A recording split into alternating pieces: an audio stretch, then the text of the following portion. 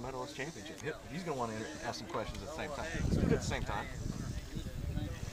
Uh, yeah, special week for me. Uh, played amazing. Uh, the first two days really clean, putted good, hit it good. Today I hit it great too, and I just had some hiccups today on the greens, a uh, couple of tee shots. Um, really threw away some shots today. Glad the team played good and was able to get that that victory. And uh, my first win individually was that's a great way to start the season.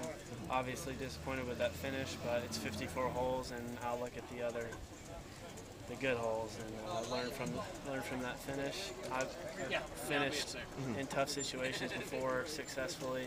Just shows you how hard this game is. You can't do it every time.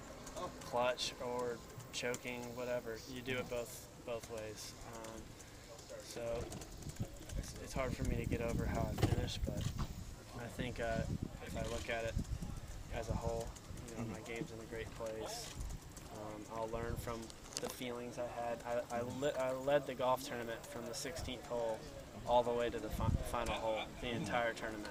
I've never done that before. I've never held a lead for that long. So that experience, uh, I think reason I'm so much better now than I was my first two years is just experience. And now I'm just adding more to it. So uh, it's just going to help me get better and better. Is it different? Uh, you know, you said that you never had a lead for that long in a tournament. Is it different playing at the top?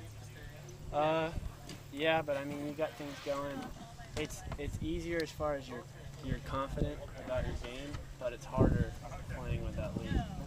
But you just it's just another level. I got you. Said yesterday when we talked that you know you don't know what happened with the team. Y'all didn't play as good as you guys usually do. Today it was a lot different. I think that you guys shot, I want to say seven under, on the day. Um, you know, I think a couple of guys who shot over par shot five under par today. Um, you know, what does that show you as far as the team heading into this? I know this is early in the season. know, we have a really strong team, and uh, Richie to come back like that, and Seth play so well, uh, it's just awesome to be on a team like this, knowing your guys can shoot those scores. I got you.